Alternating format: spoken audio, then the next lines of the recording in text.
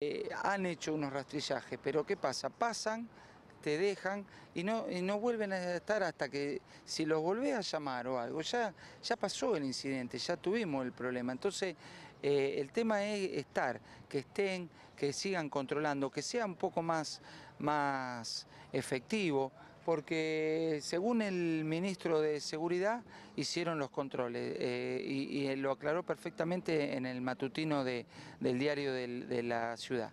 Eh, el operativo se formó a partir del mediodía y de, a la tarde estuvieron con mayor presencia policial en la vereda, él lo aclara bien, porque, y dice que nosotros no lo vimos porque estamos controlando el agua y la arena. Claro, pero nuestro problema es el agua y la arena, no es, el agua la resolvemos nosotros, en la arena no podemos participar eh, como agente de seguridad.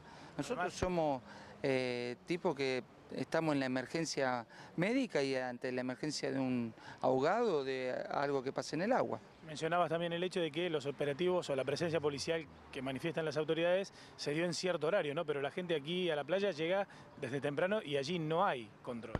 Y eh, eh, desde las 8 de la mañana estamos nosotros, o sea, desde las 8 de la mañana hasta las 11, que llegaron eh, cuatro trinomios, o sea, dos efectivos de la Policía de Acción Táctica, que se colocaron en las bajadas a la playa, pero ellos no hacen el control de alcohol.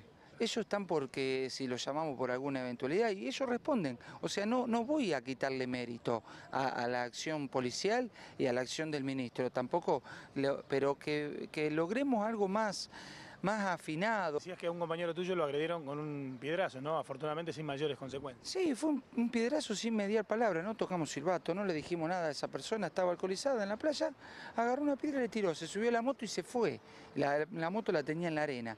Entonces vos decís, ¿y ahora qué hicimos? ¿Qué, qué? eh, Entonces, ¿por qué te tenés que aguantar eso?